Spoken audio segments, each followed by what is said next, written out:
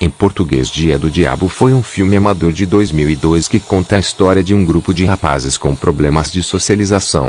A história começa quando dois idiotas encontram a mandado de outro idiota uma esfera com poderes. Essa esfera era uma de sete esferas perdidas por um bairro de Portugal chamado Fidalguinhos. Voltando ao início da história. Os dois idiotas encontraram a esfera do poder e ao procurarem as outras esferas depararam-se com um grupo de moleques que também estavam à procura das esferas.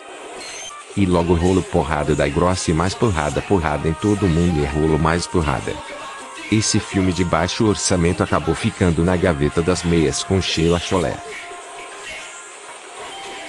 Aqui vemos uma cena marcante do filme em que os dois Melzois fazem amor no capô do carro.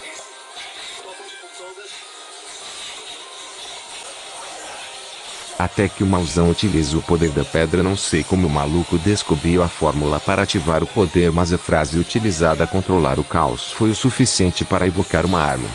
Que logo botou tiro no moleque chamado Zlin que foi para o hospital com bala no peito. Então os amigos se juntaram e reuniram as esferas do poder e se vingaram do amigo idiota depois a história fica meio confusa. Olha a bunda desse gordo correndo pedindo ajuda aos caras. Luta aqui, luta ali, porrada aqui, porrada ali, só violência este filme.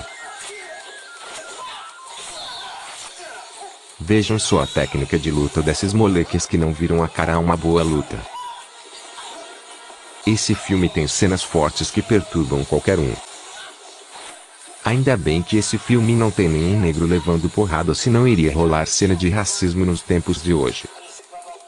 Efeitos especiais feitos por crianças como o Tressemia 21 dão ao filme uma enorme cagada de efeitos que fazem qualquer um sangrar dos olhos.